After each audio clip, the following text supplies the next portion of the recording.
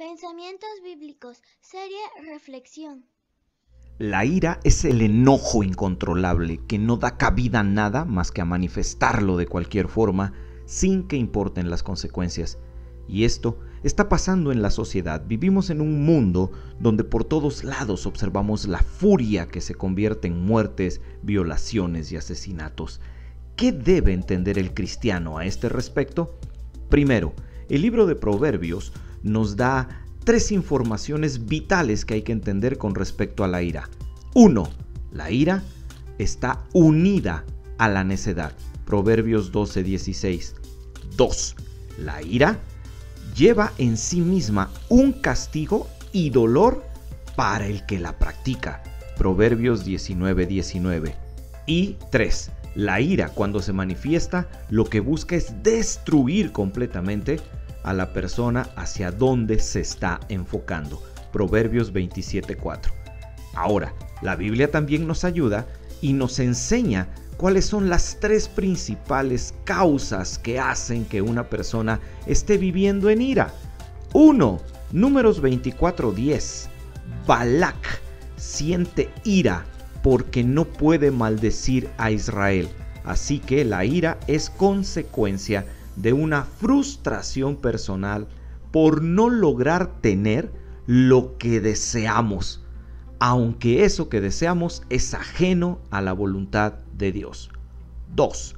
Primera de Samuel capítulo 20 versículos 30 y 31. El rey Saúl siente ira por su hijo porque ama a David, a quien Saúl cree su enemigo.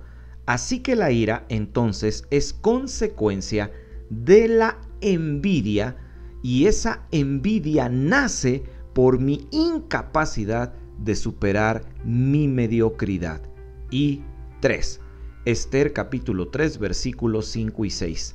Amán descarga su ira por la falta de reconocimiento idolátrico hacia su persona y su ira la dirige hacia el pueblo de Dios. La ira entonces es consecuencia de no recibir lo que creemos que merecemos, aun cuando en la realidad no lo merecemos. Ahora, ¿qué hacer si la ira ya está presente en nuestra vida?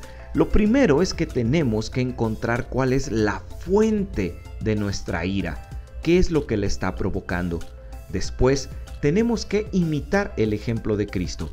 Él fue rechazado desde su nacimiento, Lucas 2.7, expulsado de la sinagoga de su propia ciudad de crianza, Lucas 4.29 al 30. Sus milagros propiciaron repudio, Mateo 8:34.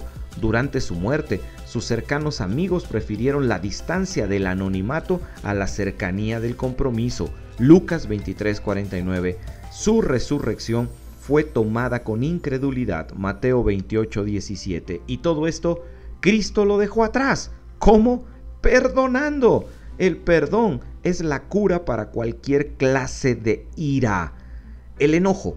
El enojo forma parte de las emociones, ayuda a la definición de nuestra personalidad y al reforzamiento de nuestros principios morales. Pero por ningún motivo debo permitir que el enojo tome el control de mis sentimientos y de mi razón. Recuerda, constantemente subimos nuevos materiales a este canal, suscríbete y no olvides activar la campana de notificaciones para que sepas cuando hay nuevo material para ti. Tú puedes tomar el control de tu ira, aprende a dominar tu ira, porque recuerda, la ira es el gran destructor de tu capacidad de amar interior. Mientras vivas en ira, no podrás estar en paz con nadie y lo que es peor, no podrás estar en paz contigo mismo.